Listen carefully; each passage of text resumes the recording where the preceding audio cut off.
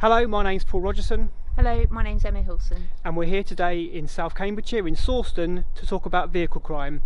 In the last 12 months we've seen a 7% rise in break-ins to vehicles. And we're here to talk about crime prevention.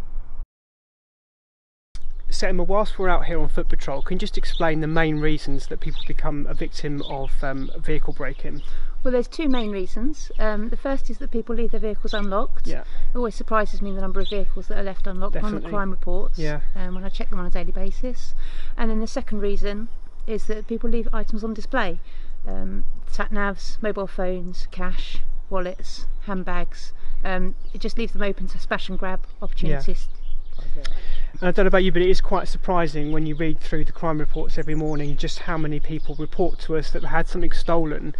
Um, and it's not necessarily that their car has had their window smashed, but they've just left the car unlocked with really quite valuable items left um, either on display or in the car. Yeah, I think quite often you, if you look at your items and if you think of them in monetary value, and if you put them on, would you leave five hundred pounds on your seat?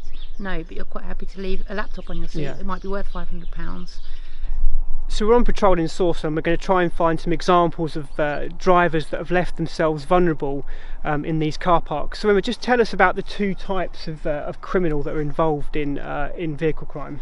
We've got the opportunist thieves, um, the thieves that spy something on display and uh, just try and take it.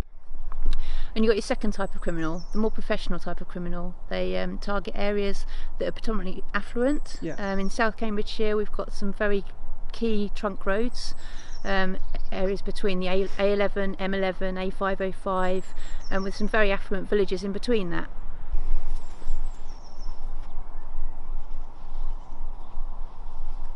So we've got a um, good example here. Um, sat nav left on display, which um, is tempting. And then obviously um, we talk about reducing the opportunity as well. Um, here we see there's a number of items that are on display, which would make someone curious about what else might be in the boot.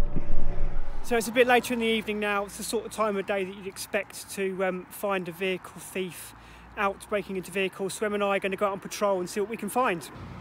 So we've been on patrol about probably five, six minutes. We found this vehicle. Um, it's open. Um, I don't know if you can see that. It's a bit dark. Um, we've got a handbag on the seat, so we'll go and try and locate the owner of the vehicle now.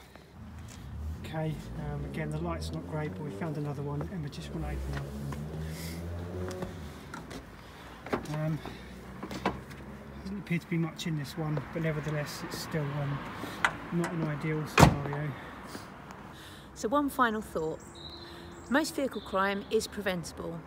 We'll continue to carry out patrols in the hotspot areas across South Cambridgeshire, but we do need your help. When you leave your vehicle, remove your valuables from the car and lock it. Double check it.